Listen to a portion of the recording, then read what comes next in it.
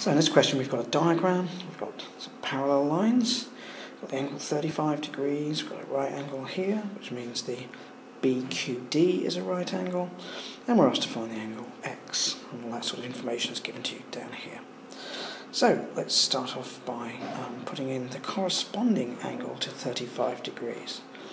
That's because you've got these two parallel lines crossing the line AD, so angle at A and the angle here will correspond. So I'll just put in the explanation there. Corresponds. Now, you should also see that angle BQD, as I've already said, BQD equals 90. So we simply find x, x will therefore equal 90 minus 35.